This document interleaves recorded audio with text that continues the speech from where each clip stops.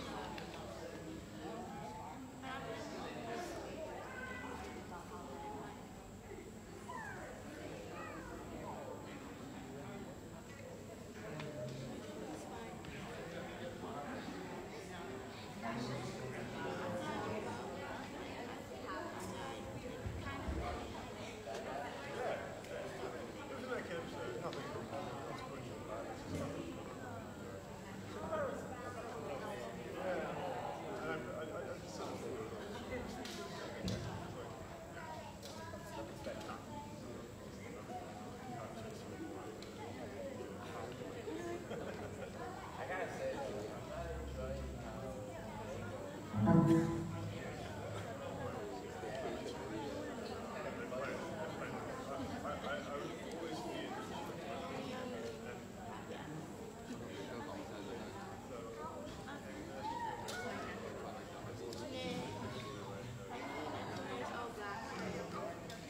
morning, friends. The Lord be with you. Welcome to our service of Friendship Sunday this morning. Uh, and we have a special service uh, today with two testimonies and uh, dance by the McWings Youth.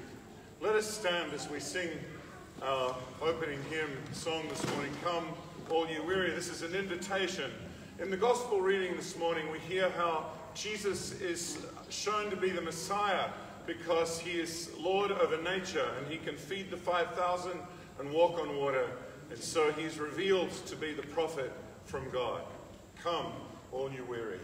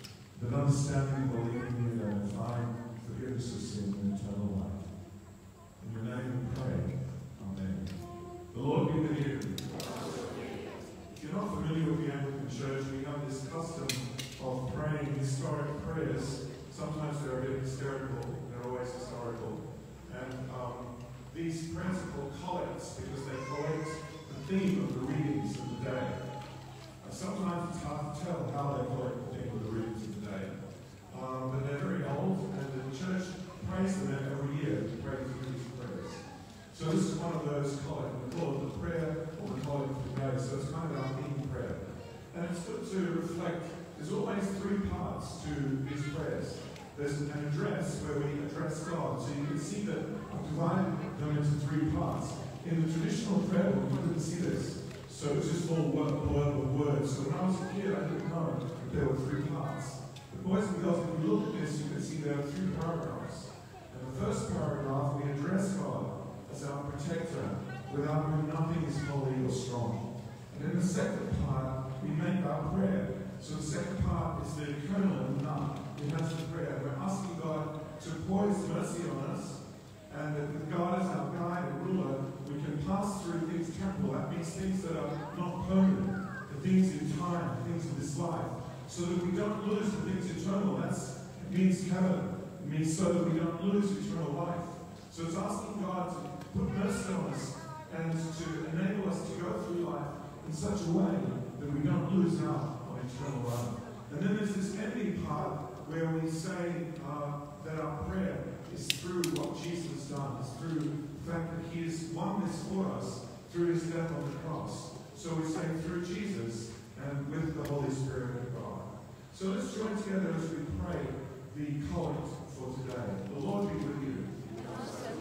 We pray together, O God, the protector of all who trust in you, without whom nothing is strong, nothing is holy.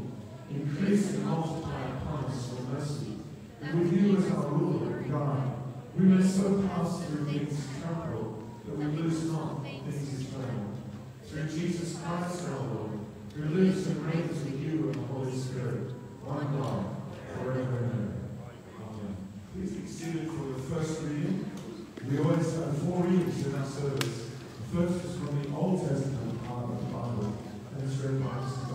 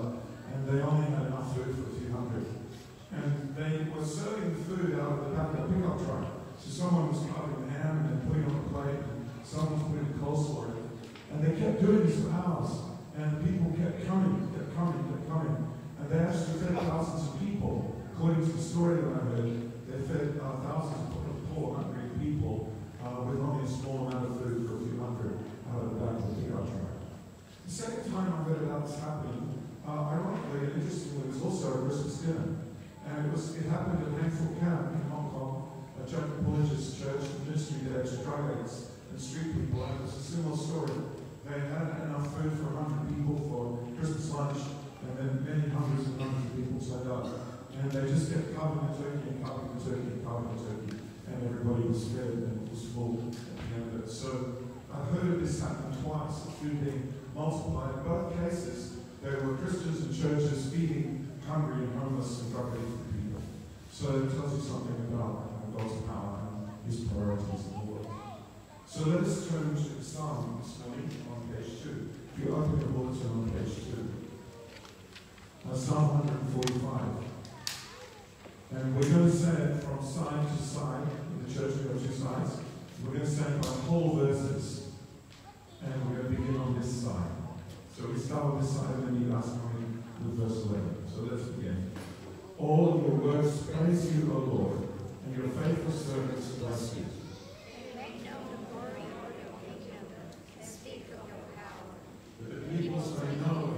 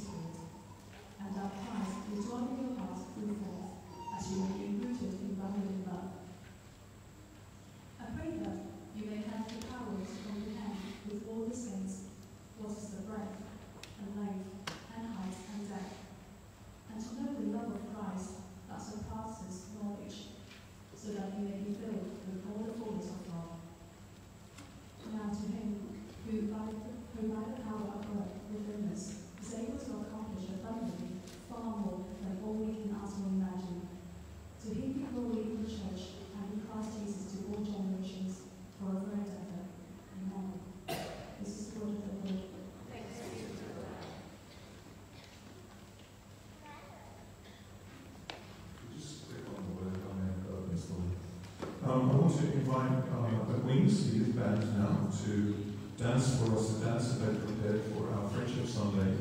And I want to just explain the song, so just ignore them and listen to me.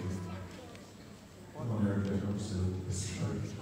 And um, so this song is uh, very contemporary, and I want you to listen to the words as they dance. Boys and girls, listen to me. It's a very powerful, striking song. And I you to figure out what the song is about, but actually I'm going to tell you now. this song is about baptism and resurrection. It's an Easter song. Now that might not appear when you first hear it, because it's so contemporary and it uses poetic language. But if you look at the video behind them as they dance, there's a, I don't know if you can see it. Actually, I want to ask the side here, John, can you uh, close some of the blinds? Uh, just a few of them, or maybe the center ones, just to darken the room a little bit. Because as you watch, you'll see that there are two men walking through the desert. And the desert is a metaphor for our life, where our life is a spiritual desert without God. So they're walking through the desert and they encounter dry bones in the desert, which reminds us of Ezekiel's vision in the Old Testament of the nation of Israel dead like dry bones. And we need the rain of God's Spirit to refresh us and give us life. And as they go through the desert, they, they begin to move faster and they run through the desert. It's like they're searching for the water. And eventually in the song, it comes to baptism. You see a splash, and it's the image like they're being baptized. And then they get up and they go on their journey and they're running. It's like they're running into their Christian life. And at the very end, you'll see an image in the distance. And the image is the ship. Now, I don't ship, S-H-I-P. Now, I don't know what the ship meant to the people who wrote the song. But in, in Christian heraldry and tradition of art, art tradition, ship always means the church. So it's interesting, and when you see a ship, there's a, a brazier, there's a fire burning on the ship. Uh, I wonder, maybe that's the fire of the Holy Spirit that's burning in the ship. So this is about the journey of life through the desert, the spiritual desert, searching for the water of life and for new birth, the Easter experience. But it's really contemporary, and it's a wonderful, they've done a wonderful job to interpret it. So would you give uh, the young people a very, very warm welcome as they.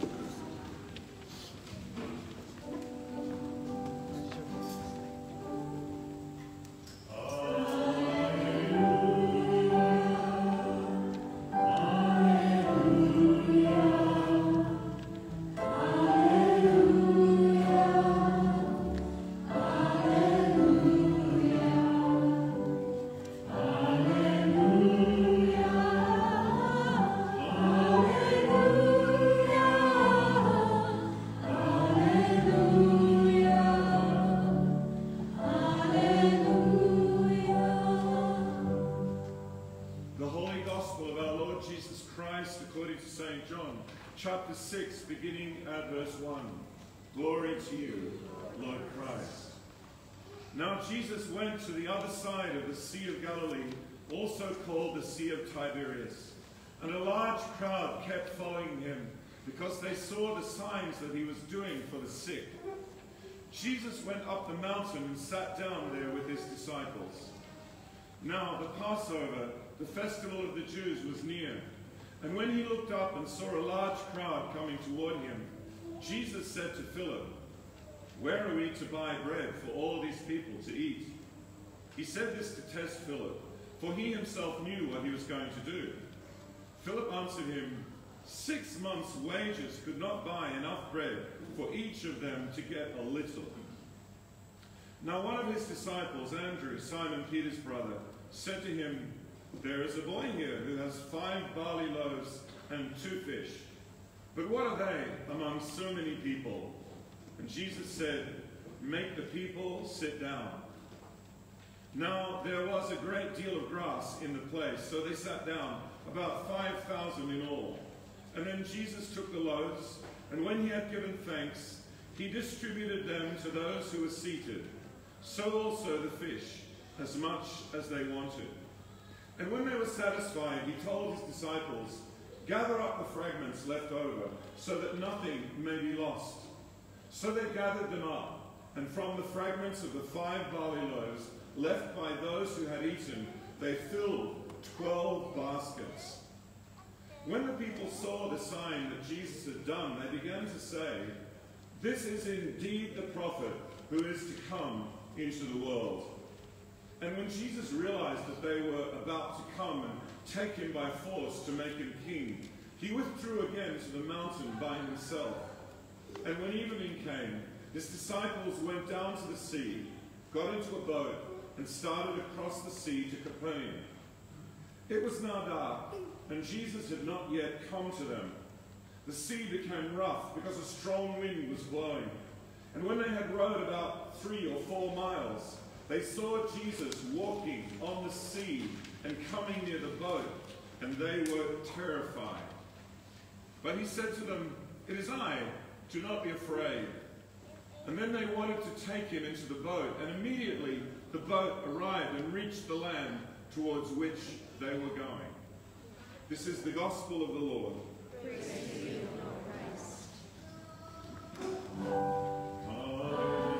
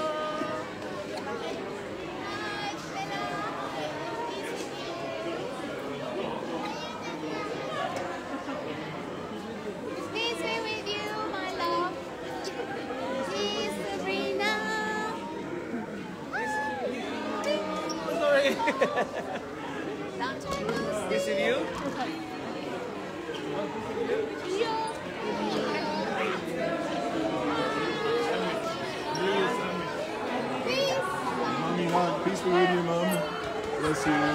Hey, Irene. Hey, peace, peace be with you, dear. Bless you. Nice to see you. Nice to see you, too. Peace again. Hello. Peace be with you. Well done. So proud of you. Well done, darling. You okay? Welcome, welcome. Hello. Peace be with you. Peace be with you. All will be well. Peace be with you.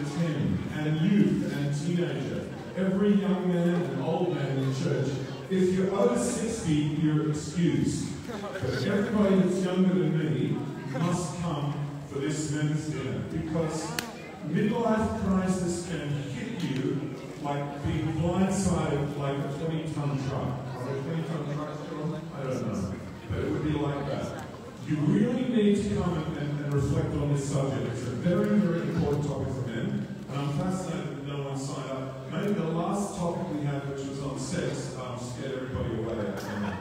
But um, please do sign up. Also, um, this week, there's no McFeast teenage youth group today. The youth are going to stay in and hear the testimonies in a minute. This Wednesday, our meeting is going to meet not here as we usually do, but in Ellis's hospital room, in room 811 in the Henry Fok building in Kiangwu. So if you'd like to join the prayer meeting, we normally don't, it's about 10 ladies and one gentleman who meet there. Come and join us in Ellis's hospital room as we pray for the church and for the needs of the community and the world and for Ellis this Wednesday at 7 p.m. 7, 7 p.m. You'll be most welcome to join us. We don't normally do that, but we're going to do it this Wednesday. Men's meeting is on Thursday. International Ladies Night is on Saturday. So ladies do come along to Jolene's place for that wonderful fellowship this coming Saturday night. Now, I also want to congratulate later on in the morning, you will see Professor Duggan. Most of you know the elderly couple, Brian and Christine Duggan. And this week is their 58th wedding anniversary. Oh, yeah, it's like, wow. So please do greet Brian and Chris with a hug and, and a greeting and make their day and, and tell them happy wedding anniversary. Um, I haven't bought him cake. I said you have to get 60, then you don't cake. Still, I think you'll probably buy us a cake next week. So, um, yeah, we're going to celebrate that. So you'll see them later. And also the lunch today is in celebration of Lani's parents' baptism. Lani, they're not here, I think? They're coming for lunch. Oh, wonderful. So we can sing for them or something. We can congratulate them in person. That's so wonderful.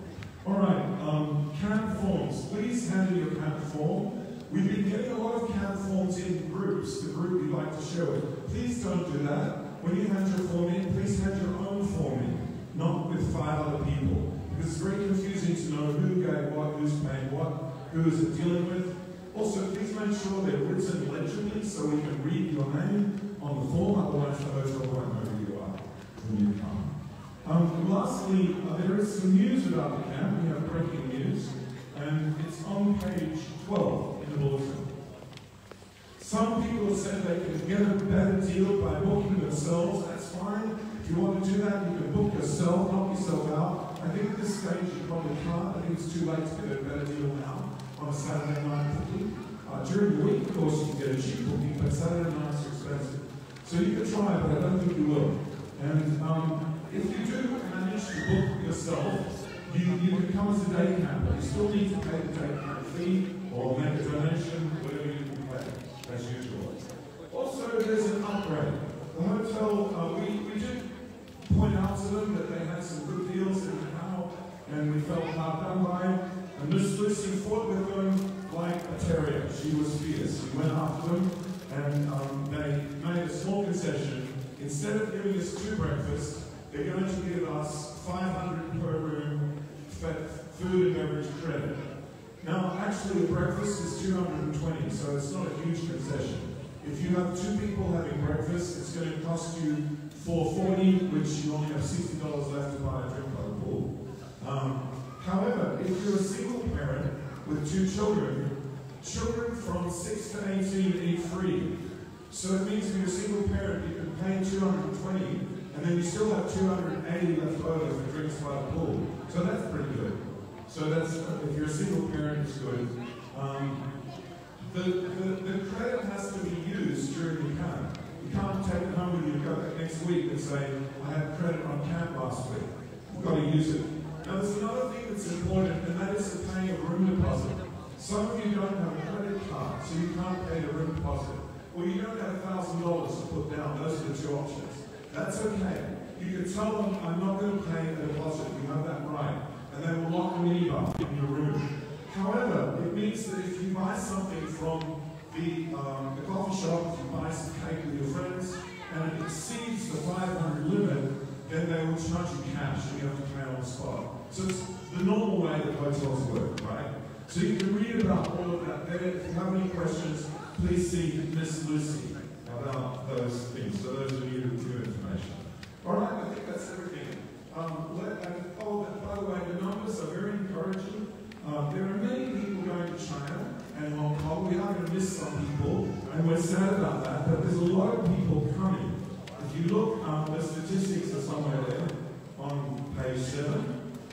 We have altogether 104 people sign up. That doesn't mean there'll be 100 people on Saturday morning. What it means is that there's 104 people coming for part of the weekend. And in fact, I think there's another 20 or 30 who are going to be signing up today, from what people have told me, for parts of the camp, mostly for part. But we have 67 overnight full campus, 24 rooms are booked so far, and more coming.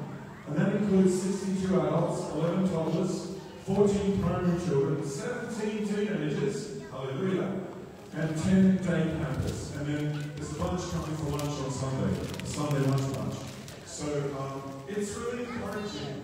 You know, it's not easy to get 100 people to go away on camp together. So thanks to God, and thank you for signing up. Let's stand up as we sing our offertory hymn.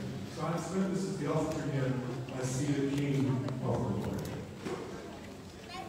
And after this, the children will go to Sunday school after the song. We'll sing those verses.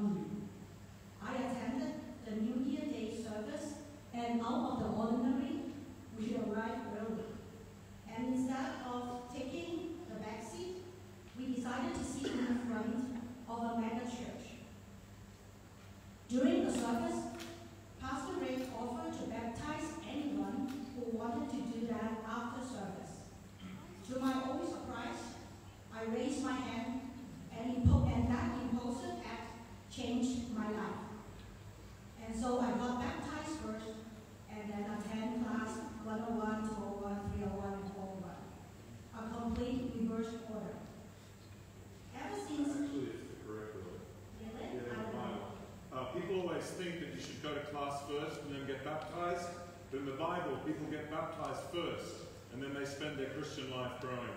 So you actually did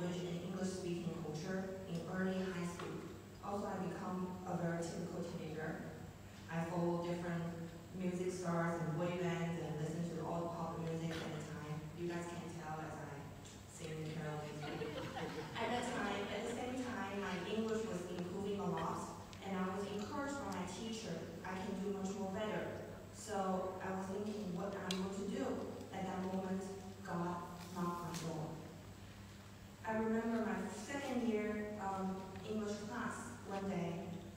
My teacher said in class, literally,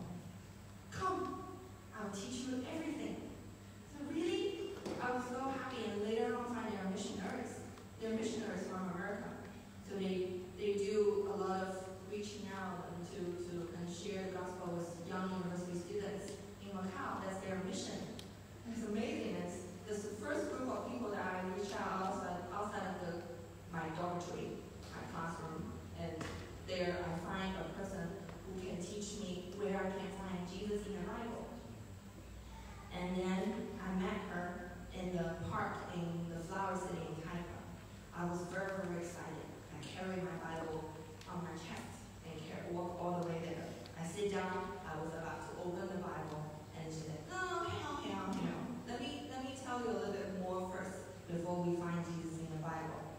So she took out a paper and she drew me a picture with two mountains and then a cross in between. So she started explaining to me God and human being, the relationship was broken, but then the cross was Jesus, and because of him, so I can be connected to God again. So she's explaining to me all that. And afterwards she asked me, do you believe me? I said, yes. Hmm. and she's like, what?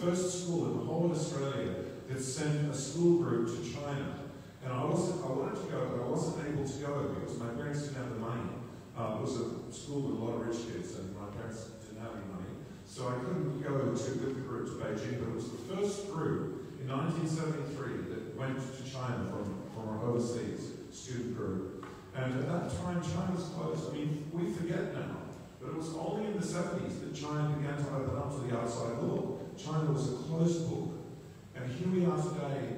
China is the mighty dragon, you know, on the world stage, very much a player in, in the world, open to the world. The world has come into China, China has gone out to the world. And China is now the place where the gospel is spreading faster and more effectively than anywhere in the world. Uh, my dad would be amazed if he was alive today.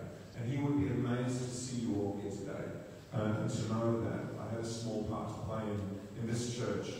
So thank you, Miranda. It's incredibly moving for me to hear that beautiful, eloquent, and touching message. I want to draw us to a close today um, by finishing our series. Don't worry, I'm not going to be long, truly. Um, if you open your bulletin, those that have been here for the last four weeks, uh, to page 18, and we've been talking about the Fatherhood of God. So as a way of winding up the, the message today, I want to fill in the last blank for you today. You can see on page 18, the blanks are, we talked about how God is a consistent, compassionate, and caring Father. How God is a consistent Father. God is a Father who is close. And the last one is that God is a capable Father. And I'd like to paraphrase that by saying God is mighty to save. He is capable of saving us out of sin and out of the desert, the spiritual desert that the world was in. Um, Miranda was in, a spiritual desert, a place of fear, um, unsure of the spiritual world around her. And God calls her out of the, that desert into relationship with God as her Father, and into baptism, and into a new life.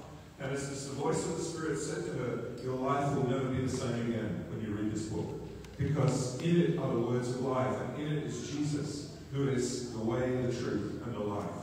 So as we conclude the series today on the Father of God, I want to conclude by, by saying to you guys that in the world around us, people think that everybody is a child of God. There's this common saying you'll come across uh, on social media and so on that we're all children of God. And I want to say to you today as we close that that is not the Christian understanding. You are not a child of God unless you come to, to God through faith in Jesus. In John chapter 14, verses 6 to 7, Jesus said, I am the way and the truth and the life. No one comes to the Father except through me. If you really knew me, you would know my Father and in St. Paul's letter to the church in Galatia chapter 3, verse 26, he says, We are the children of God through faith in Jesus Christ. This is why it was so important for Miranda to understand that the Bible is really about Jesus. Because it's through faith in Jesus that we become children of God. So as people think we're all children of God, we're not. When you're in the desert in the world and you are apart from God, you are not a child of God, according to Christian understanding. So I want to say to you today, if you do not have a relationship with God through faith in Jesus, you are not a child of God. Now you are part of the family of man. We all have common DNA. We know now today that all human beings are cousins. I'm literally related to Dominic. He is literally my cousin. Because we know that he and I share DNA, which comes from a female ancestor. It's called mitochondrial DNA. So we have the same DNA in us, which tells the scientists that you and I are literally distant cousins. All of us. All of us in this room are literally an earthly family. Isn't that amazing? So we are, in fact, as the scripture tells us, the family of man. We are children of Eve. Scientists call her Eve, mitochondrial Eve. However, we are only children of God, the Father, through faith in Jesus Christ. And the scripture tells us there are two metaphors about this, two pictures. One is in 1 Peter 1 3. God has given us the privilege of being born so that we are now members of God's family. So we are born into God's family through a spiritual birth. When that missionary said to Miranda, This is the gospel story, this is how Jesus came to make a bridge between God and man. Do you believe this? And Miranda said, Yes, I do. I believe that. And the woman said, Shall, would you like me to pray so that you can receive Christ as your Savior? Miranda said, Yes, I would like that. The woman was shocked because it was so easy. But God had been preparing her heart since she was a little girl and preparing her to be with us here in the cow so you can hear the testimony today. So you can know that you can also become a child of God and be born again into the family of God. I want to encourage you, if you're, if you're distracted now, to listen to what I'm saying. Another verse is another metaphor of, of coming into God's family is being adopted. In Ephesians 1, verse 5, St. Paul writes, God's unchanging plan has always been to adopt us into his family by sending Jesus to die for us. In Jesus' death on the cross, he made a way by washing and wiping away our sin, by paying the debt of our sin which separates us from God. He made a way for us to be adopted into God's family. These are both metaphors. You can be born into the family by the indwelling Holy Spirit coming into your heart and making you new with a new relationship with God. Or you can be, if you like, adopted. Both of them are true. We are both born and adopted. They're both metaphors that say we can have a relationship with God as a Father. And you know, if you're adopted into a family, that may not be your natural father. We have quite a number of people here today who maybe don't know their natural father. Or maybe your natural father abandoned you when you were young. There's people here today in that category. Maybe your natural father procreated you and then left. Or, or maybe they had you and stuck around for a while and then they left. Whatever it is, you have you may not have known your earthly father, but you may have had a stepfather or a teacher, maybe a mentor like Mr. Patrick, who was like an uncle in your life and who, and who encouraged you. Maybe a spiritual father in your life. And that person is your spiritual father or your mentor because of your relationship with them. Your stepfather is your father because they care about you, because they pay the bills and they feed you. And, and you think, well, okay, I have a biological father, but the father that matters to me is the one I have a relationship with. And I want you to know today that you can have a relationship with your heavenly Father. And it's in the relationship that we become a child of God. And when Miranda prayed that prayer, she said, I became a Christian. What that means is she began a relationship with God as a Father. So I want to invite you today. I know most of you are already may be Christian, but maybe some of you are not. Or maybe you've wandered away. Maybe you've been discouraged in your faith and you've given up on God recently. Or maybe you've never become a Christian. I want to invite you to the greatest privilege that we can have. It's, it's funny that Miranda said that Dad spoke to you so seriously. Like he only spoke that seriously when he was talking to Emmanuel at the wedding. Uh, and you said like maybe it was like you were getting married, but you were just a little girl. Because actually, when you become a Christian and God becomes your father, it is like as serious as a marriage. And baptism is as wonderful as a wedding. It is a new life beginning. So today I want to invite you. Maybe you've never done this before. And it would be good if you do this, if you decide to invite God to be your father and to be his son or daughter. It would be good if you tell somebody. It would be good if you go and tell me later, or tell a friend who brought you. Tell someone, you know, I, I want to do that, or I've decided to do that. I remember recently at the young adults group, Irene is here today. I remember when Irene said to us in the small group, and she heard about Peter saying, Jesus, I am a sinful man.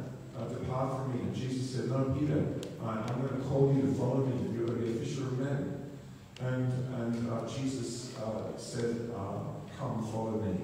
And Peter followed Jesus. And Irene said, I want to follow Jesus. So I want to invite you today to follow Jesus. These are all metaphors. I want to invite you today to receive God as your Father by faith in the Son, the Son who died for you on the cross. Jesus is not a fairy tale like Easter Bunny. He's a historic figure in the ancient world. Where did this church come from? Where did this school come from? People say, give me evidence about Jesus. You're sitting in it. The floor beneath you, the roof above you, the building around you is here because Jesus.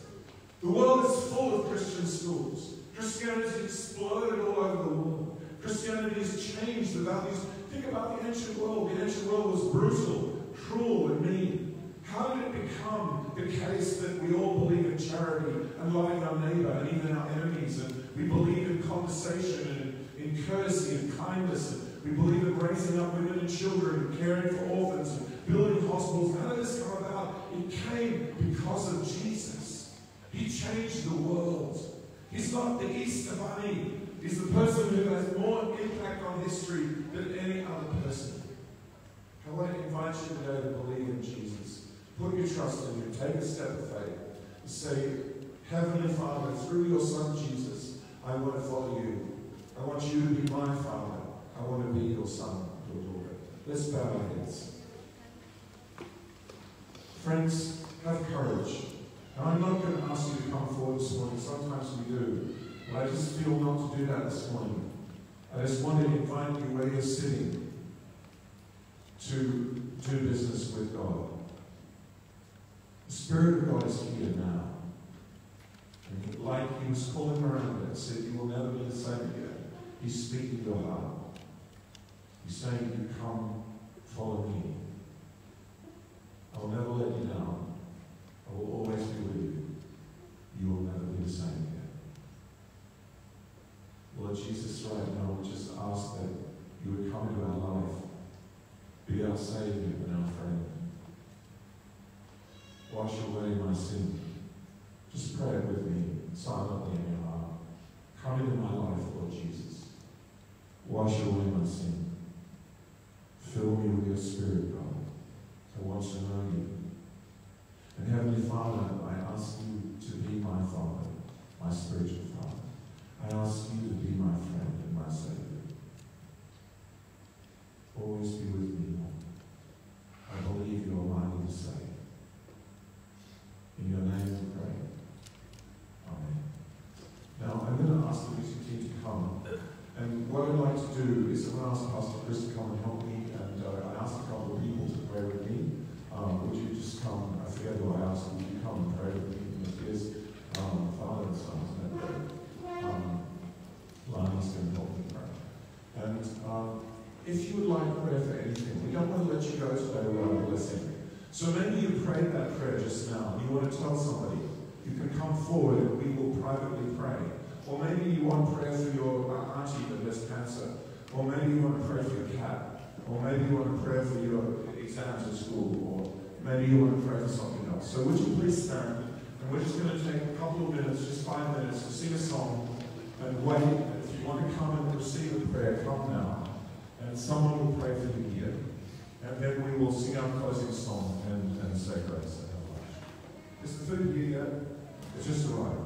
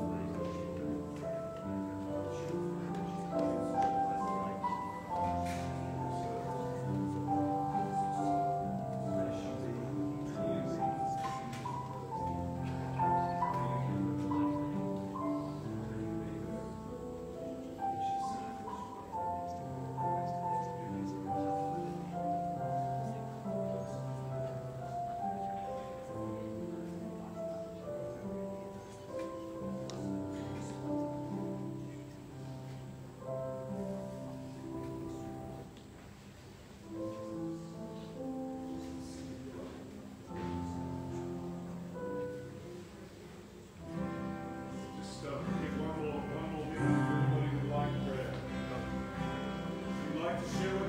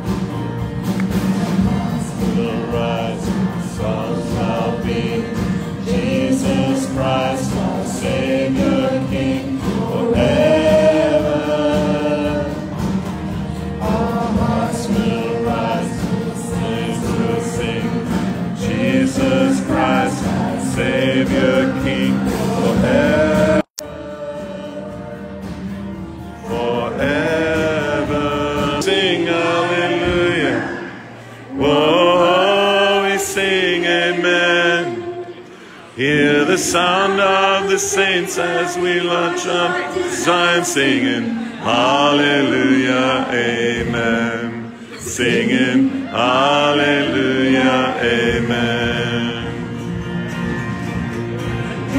Oh, we sing hallelujah. Oh, we sing amen. Hear the sound of the saints as we march